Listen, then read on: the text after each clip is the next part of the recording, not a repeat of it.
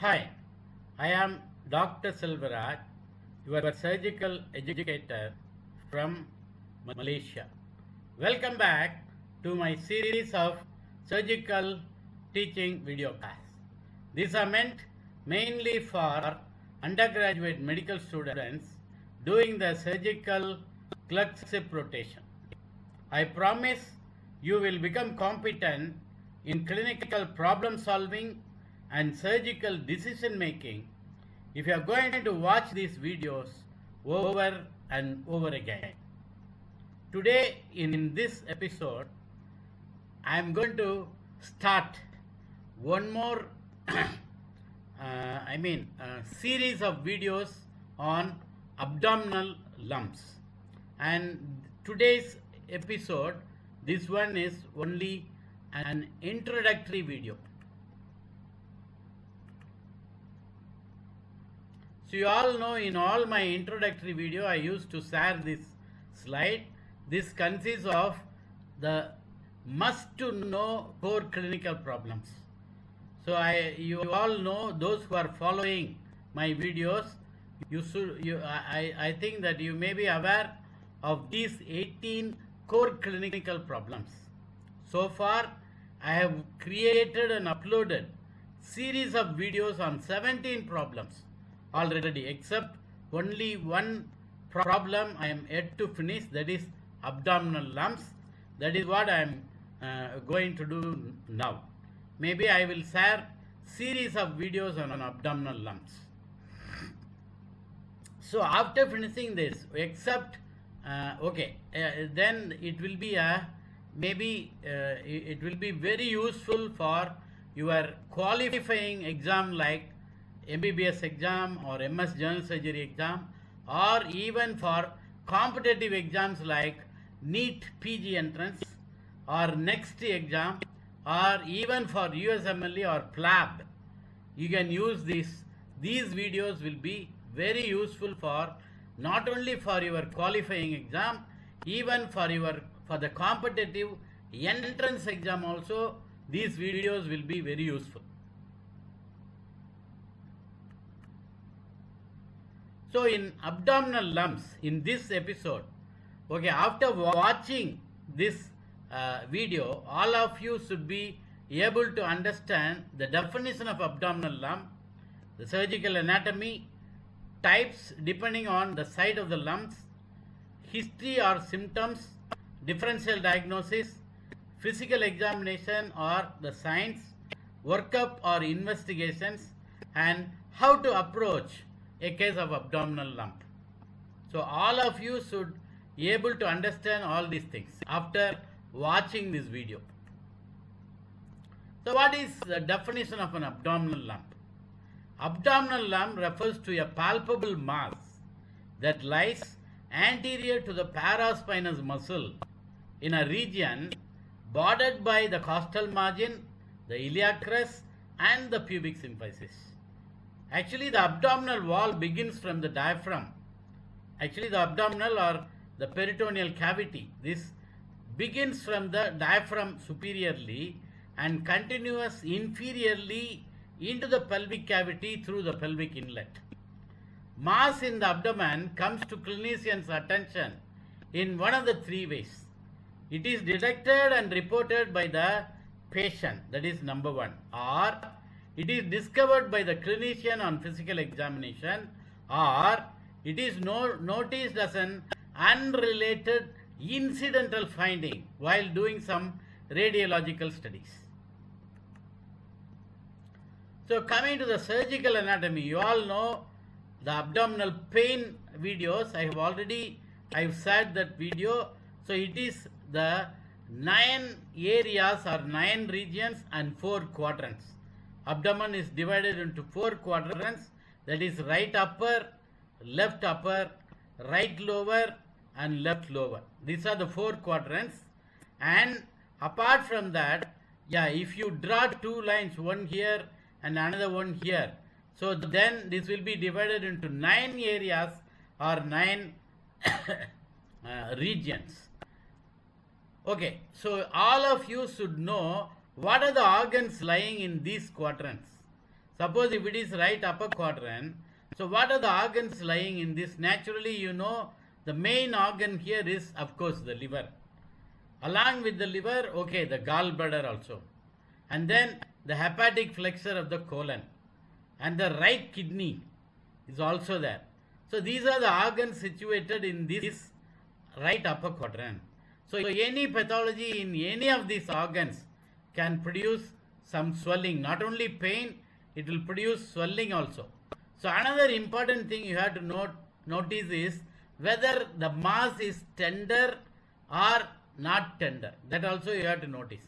I am going to do, I am going to uh, I mean uh, talk only the right upper quadrant.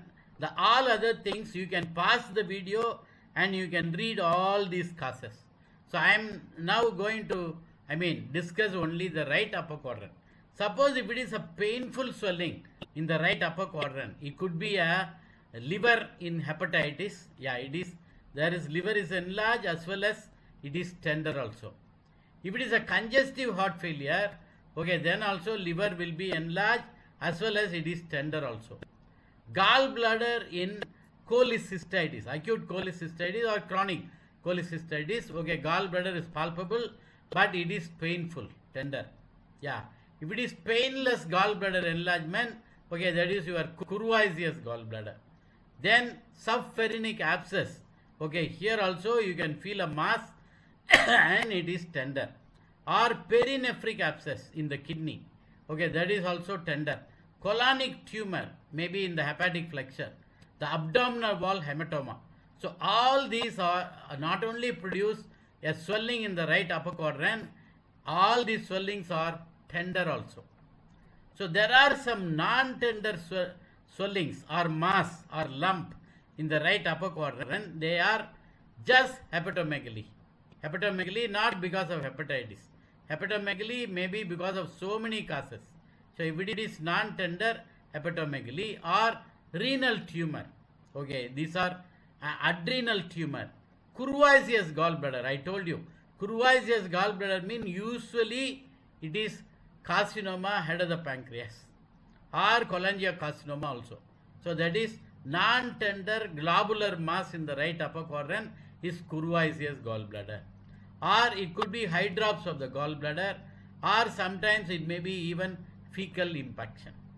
So you have to mainly look for whether the mass is tender or it is non-tender mass. This is very important. So you, you can pause the video now and you can read what are the causes for the lump in other quadrants also. Apart from these four quadrants, you have to think of epigastrium separately and hypogastrium also. So here also you have to think what are the swellings here, epigastric region. These are the things and in the hypogastrium, what are the different causes. So you can pause the video and you can read all these things. So you have to think of which, which organ is involved and what pathology. Is it an inflammatory pathology or neoplastic pathology or is it a congenital problem? All those things you have to uh, arrive in the in the diagnosis. You have to make all those things. Then coming to the various types of the abdominal lumps depending on the site.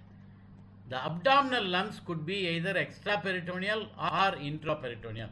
The moment you come across abdominal lump, you, ha you have to differentiate whether it is extra-abdominal or intra-abdominal. This can be differentiated by doing either head raising test that is known as Carnett's test. That is what this patient is doing here. Or you can ask the patient to do straight leg raising test. Yeah, SLR. This also, yeah, ask the patient to raise both the lower limbs. So when the patient is doing either the head raising test or the straight leg raising test, the anterior abdominal wall musculature will be contracted and if the tumor is extra abdominal, that becomes more prominent. If it is intra-abdominal, because of the contracture of the anterior abdominal wall musculature, the swelling becomes, becomes less prominent. So you can easily differentiate whether the lump is extra-abdominal or intra-abdominal by doing these two tests. Suppose if the lump is not extra-abdominal and in, if it is intra-abdominal, In intra-abdominal, there are two types. It could be either intraperitoneal or retroperitoneal. How to differentiate intraperitoneal and retroperitoneal? It can be differentiated by putting the patient in knee elbow position. See, you have to put the patient in knee elbow position and then you have to palpate the mass. If it is intraperitoneal mass, okay, the swelling will fall forward. You can easily palpate the uh, mass uh, here in this position. Suppose if it is a small retroperitoneal lump, you may not be able to feel it. No longer it is palpable if you put the patient in knee elbow position. However, if the retroperitoneal lump is very massive one, very big one, still you can feel it in even in knee elbow position. So this is how you have to differentiate whether even if it is intra-abdominal, you have to differentiate whether it is intraperitoneal or retroperitoneal by putting your patient in knee elbow position. Abdominal lumps. You have to evaluate the patient first and then consider radiographic or laboratory studies if the initial assessment does not yield a diagnosis. A careful and methodical clinical history should be taken about the lesion's mode of onset, duration, character, chronology, and location. All these things should be obtained as well as confirmation of presence or absence of associated symptoms. All these things you have to ask the patient. A focused, comprehensive history, initially avoiding leading questions and allowing the patients to speak freely should be obtained. It is important to allow the patient to describe the history in their own words.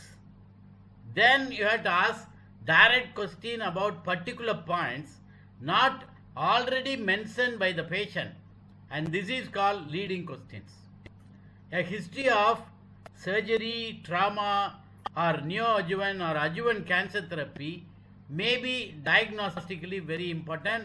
So you have to uh, uh, get all this history from your patient. Coming to the differential diagnosis, the differential diagnosis for an abdominal mass is divided into anatomical division of the abdomen that is nothing but the four quadrants. So what are the things in the right upper quadrant? Like that uh, for all the four quadrants you have to make the differential diagnosis. The challenge for the modern surgeon is how to narrow down the diagnostic possibilities while avoiding needlessly extensive and expensive evaluations. This is very important. The knowledge of most common disease processes associated with region specific abdominal lumps combined with familiarity with the characteristic signs and symptoms, it is the foundation of the clinical assessment of such lumps. So this is a tabular column showing you the differential diagnosis for abdominal lump. If it is right upper quadrant, you have to think of cancer in the hepatic flexure of the colon, distended gallbladder, or it could be hepatomegaly. Hepatomegaly may be because of uh, cystic swelling or because of solid swelling. Solid swelling could be benign swelling or malignant swelling. If it is epigastric region, you have to think of gastric tumor, transverse colon tumor, hepatomegaly, pancreatic tumor and pancreatic pseudocyst. If it is left upper quadrant, cancer of the descending colon, splenomegaly and pancreatic pseudocyst. If it is right or left flank or lumbar region, you have to think of renal tumor or polycystic kidney. If it is in the suprapubic region, you have to think of, if it is a female patient, the first thing is you have to think of uterine pathology like fibroids, uterine cancer or even pregnancy. Or it could be ovarian mass or distended uh, bladder or any uh, pathology in the bladder itself. if it is right iliac fossa lump, then you have to think of cecal pathology, cecal tumor, cecal enlargement or distended cecum, appendicular lump, Crohn's disease, and ovarian mass or tuberculosis of ileocecal tuberculosis. Yeah. If it is left iliac some mass, then you have to think of sigmoid colon tumor, diverticular abscess or diverticular mass, ovarian mass, and sometimes, okay, it, it could be fecal matter because of constipation. So these are the diagrammatic representation. If it is in upper abdominal swelling, the number one is here you are seeing the enlarged liver, number one. Number two is Riedel's lobe. This is Riedel's lobe. Number three is carcinoma of the right colon, ascending colon. And four and five is this is enlarged gallbladder. If it is tender, that is because of cholecystitis. If it is not tender, that is Courvoisier's gallbladder. So rounded lower pole of both kidneys, you are seeing it here. Both kidneys you can palpate. This is in the epigastric region. So this is a triple A, that is abdominal aortic aneurysm, especially if it is a pulsatile swelling.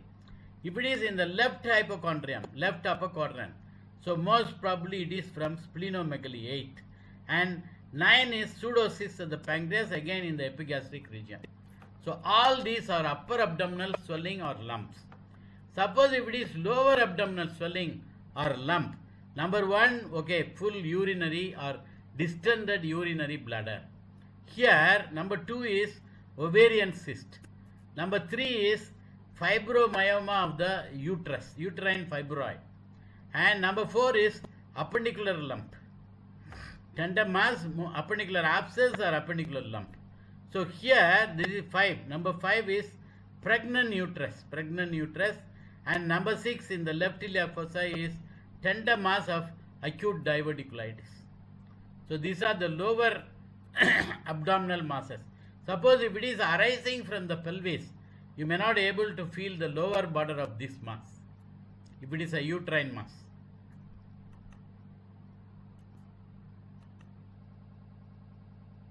examination or signs.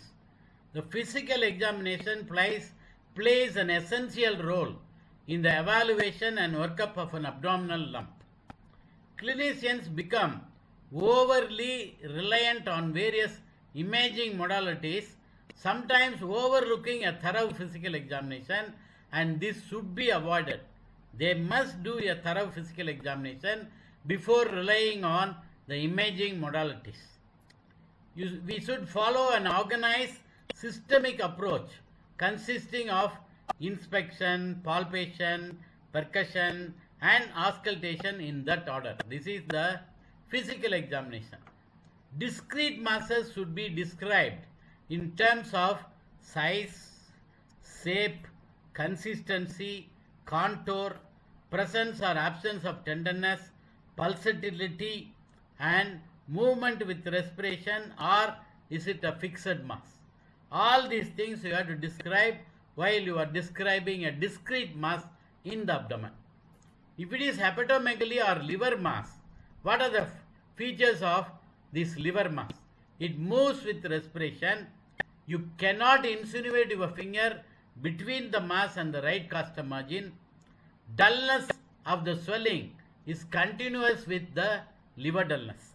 These are the characteristic feature of lump in the liver. Suppose if there is splenomegaly or lump in the spleen, that also moves with respiration. You cannot insinuate your finger between the mass and left costa margin. Dullness is continuous with the splenic dullness. You can feel the splenic notch in the splenic border or splenic edge. If it is a renal mass, okay, it is usually palpable in the lumbar area. It is bimanually palpable and it is ballotable also. These are the characteristic feature of the renal mass, the splenic mass and the liver mass.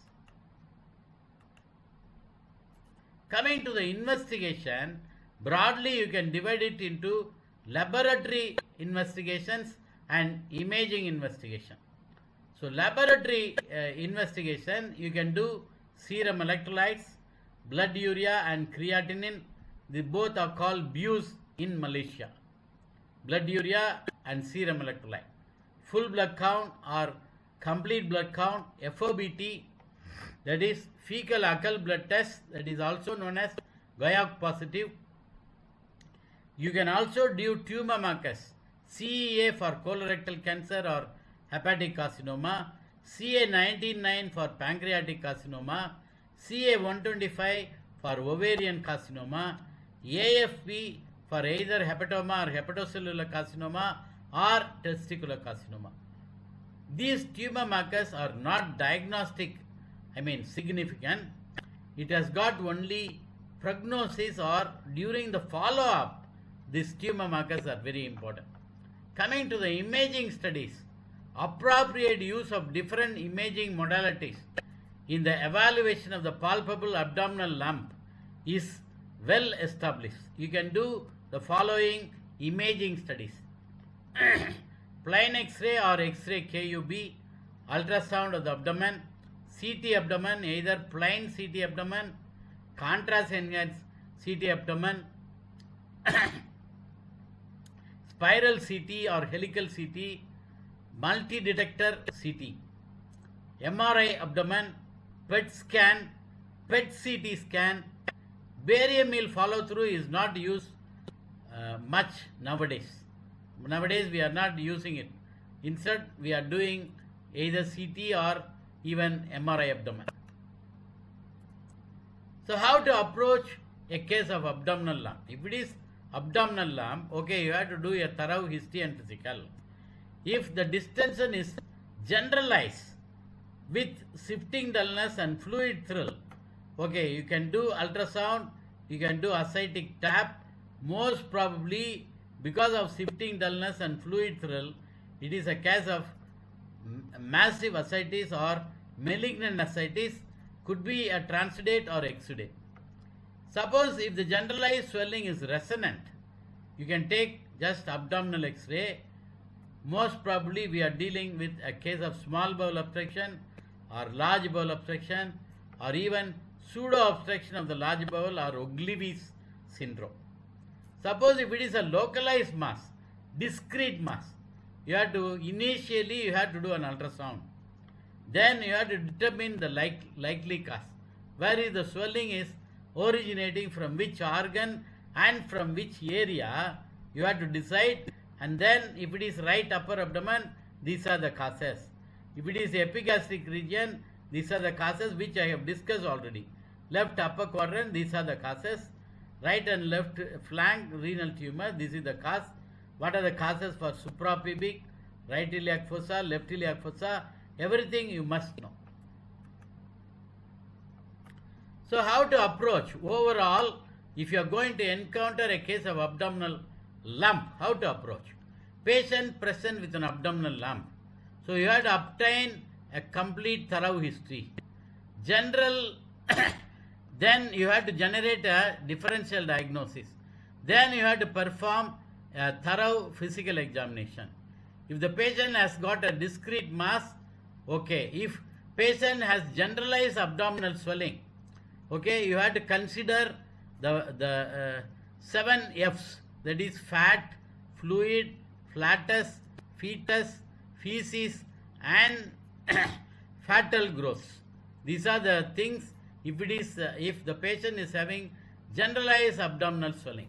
If it is a discrete mass, if working or presumed diagnosis you have you have already you have generated or you have found out the I mean you have arrived at a, a working diagnosis okay then you have to treat that underlying cause suppose if the diagnosis is unknown even after uh, obtaining a history then now you have to initiate uh, in investigation. You have to do the laboratory investigation and the imaging investigation which we have discussed already. Now okay you, you if you are able to establish a diagnosis okay okay you have to manage that diagnosis that treatment you have to give for that particular problem. If still you cannot arrive at a diagnosis okay you can perform image based uh, percutaneous biopsy you can do uh, or uh, like uh, ultrasound guided biopsy or endoscopic ultrasound guided or CT or MRI guided biopsy you can do. Now if are if you are able to achieve the diagnosis, okay, you can manage that one.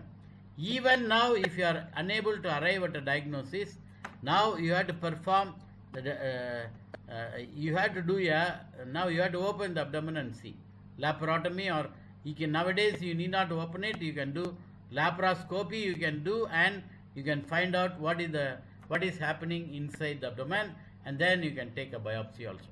This is how you have to approach a case of abdominal lump.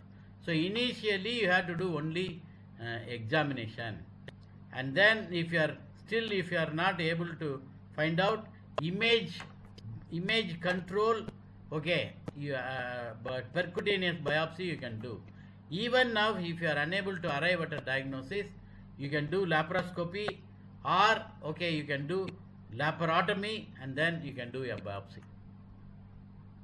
So thank you very much for watching this video. If you think that these videos are very useful kindly subscribe to this channel and share these videos in your social media kindly click the bell button also to get notified regarding my latest upload. Thank you once again for watching this video. Let us meet in an yet another episode. Until then bye bye bye bye